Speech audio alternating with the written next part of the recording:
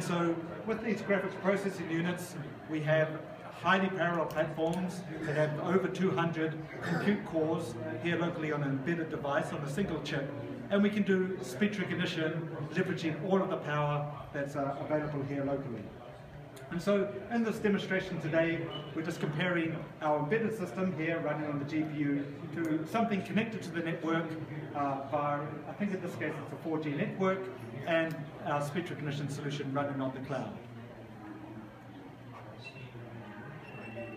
What should I eat for lunch?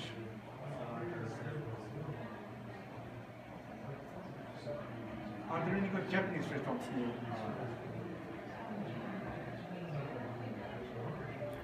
How long will it take to drive to San Jose?